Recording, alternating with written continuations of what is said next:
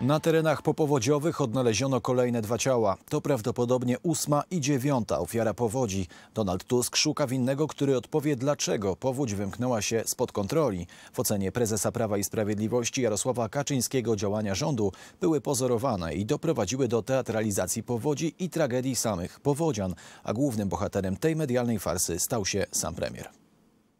Wiemy, że informacje o zbliżającym się niebezpieczeństwie były znane i dostępne dla ośrodka rządowego no co najmniej 11, ale w gruncie rzeczy powinny być już przynajmniej 10, bo już wtedy te informacje dotarły do Polski.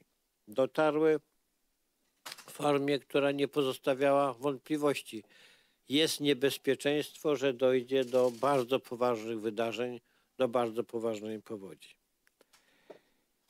Dlaczego te informacje nie zostały odpowiednio wykorzystane, tego nie wiemy.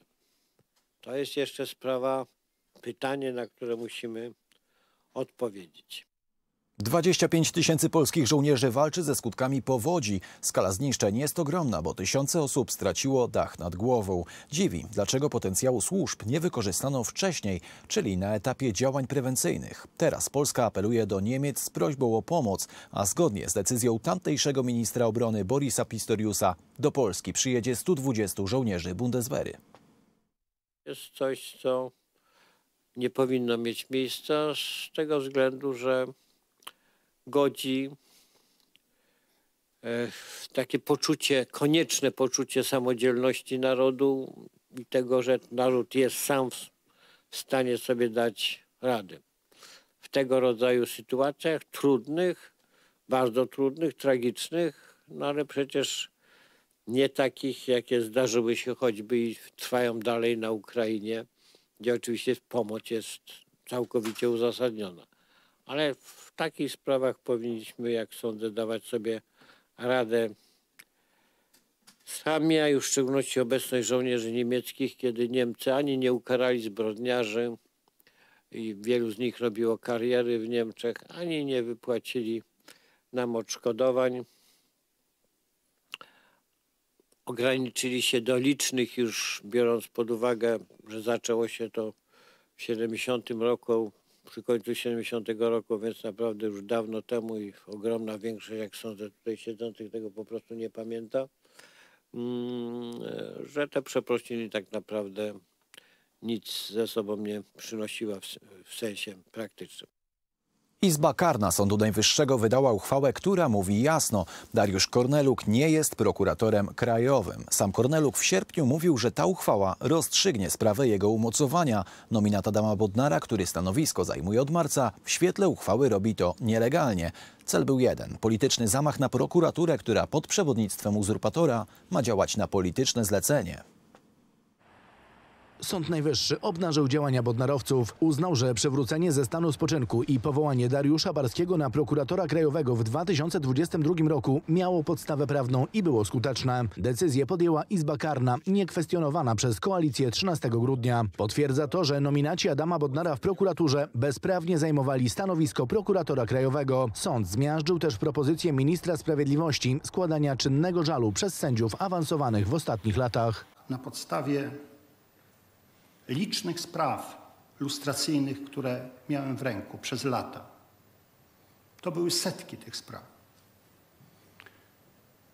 I tam, gdzie były składane tego rodzaju oświadczenia, chodziło o złamanie człowieka, o złamanie mu charakteru. Tego rodzaju metody to są metody esbecko-ubeckie ten wyrok zmienia sytuację w Polsce i my będziemy robić wszystko, żeby ta zmiana miała charakter realny. Sprawa bezprawnego przejęcia prokuratury przez bodnarowców trafiła też na forum międzynarodowe. Orzeczenie Sądu Najwyższego jest przełomowe, ponieważ rzuca nowe światło na wszystkie działania prokuratury Bodnara podjęte od stycznia. Posłowie suwerennej Polski złożą wniosek do komendanta głównego policji o wyprowadzenie uzurpatorów z prokuratury krajowej. w Polsce w tej chwili rządzi zorganizowana grupa przestępcza, która po prostu jak ma potrzebę zajmuje sobie siłą budynki. Zresztą Donald Tusk już nawet przyznaje tak, że on w sumie to łamie prawo i będzie dalej to robił, bo ma taką potrzebę, bo ma potrzebę walki z nazistami, bo on chce organizować w Polsce Norymbergę. Więc najwyższy czas, żeby prawdziwy suweren w Polsce się obudził i zobaczył, do czego to wszystko prowadzi. To jest, proszę Państwa, celowe rozkładanie Rzeczpospolitej. Dokładnie tak, jak bywało to drzewiej przed czasami, kiedy Polska upadała. To znaczy, zewnętrzne siły pilnowały, żeby tutaj wprowadzić w Polsce prawny chaos. Bo nie ma Polski, nie ma Polski, proszę Państwa. Nie ma silnego państwa, bez stabilności prawa. A Tusk właśnie ze swoją ekipą i z Bodnarem celowo, konsekwentnie rozkładają stabilność prawa w Polsce. W związku z tym złożymy w poniedziałek wniosek do komendanta głównego policji o wyprowadzenie tych przebierańców z tego budynku w związku z decyzją Sądu Najwyższego. Dochodzi do paraliżu państwa, bo prokuratorzy, wiedząc, znając orzeczenie Sądu Najwyższego, a dla nich Sąd Najwyższy jest najważniejszy, wiedzą, że biorąc udział w tym nielegalnym, przebieranym spektaklu, będą odpowiadali również, jeśli będą brali w tym udział. I dzisiaj każdy prokurator regionalny, który jest powoływany przez przebierańca Korneluka, ma świadomość po tym orzeczeniu Sądu Najwyższego, że już nie tylko odpowiedzialność karna, ale przy różnych decyzjach administracyjnych podejmowanych przez prokuratora regionalnego również odpowiedzialność majątkowa. Ci ludzie mają tego świadomość. I dzisiaj dojdzie do paraliżu funkcjonalnego prokuratury po tym orzeczeniu Sądu Najwyższego, jeśli prokuratorzy się do tego nie dostosują, jeśli Adam Bodnar się do tego nie dostosuje. Zapadł wyrok w sprawie Marcina Romanowskiego. Sąd Okręgowy w Warszawie uznał, że słusznie odmówiono aresztowania posła z uwagi na chroniący go immunitet Rady Europy. 15 lipca były wiceminister został zatrzymany w związku ze śledztwem dotyczącym Funduszu Sprawiedliwości, ale już kolejnego dnia został zwolniony z aresztu. Zażalenie od wyroku pierwszej instancji było nieskuteczne i oznacza kolejną kompromitację prokuratury podległej Adamowi Bodnarowi. Ta decyzja e, w praktyce e, bezpośrednio oznacza, że te działania prokuratury w tamtym czasie, kiedy mnie zatrzymywano, stawiano zarzuty, były nielegalne. E, to myślę, że pierwsza taka konstatacja i przypomnę, że już zawiadomienie o podejrzeniu popełnienia przestępstwa zostało złożone parę tygodni temu. A jeżeli chodzi o losy mojej sprawy, to zgodnie z polską procedurą, karną, to jest artykuł 17 E, paragraf pierwszy, punkt 10 mm, KPK, sprawa powinna być w stosunku do mnie e, umorzona. E, rozpatruję to w kategoriach właśnie prześladowania politycznego. To jest pojęcie z regulacji immunitetowej Zgromadzenia Parlamentarnego Rady Europy.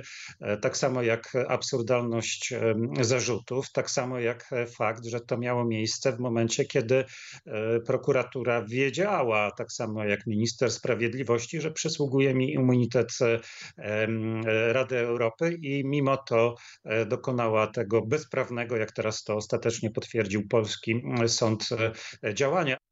Republika to nie tylko chętnie oglądana telewizja, ale też miejsce pomocy potrzebującym i solidarności. Dzięki Państwa wsparciu Fundacja Republika przekazała 3 miliony złotych na odbudowę po powodzi szkoły w Wolątku Zdroju. Bez istnienia Republiki takie działania nie byłyby możliwe. Dzięki naszym telewidzom, czyli Państwu, możemy odbudować szkołę w Lądku Zdroju. Wszystko dzięki wpłatom od hojnych darczyńców, ale nasza pomoc nie ustaje. Zatrzymajmy powódź kłamstw. Wesprzyj telewizję Republika. Bo tylko w Republice pokazujemy prawdę taką, jaką ona jest, bez potoku rządowej propagandy. Dziękujemy za uwagę. To wszystko w tym serwisie informacyjnym.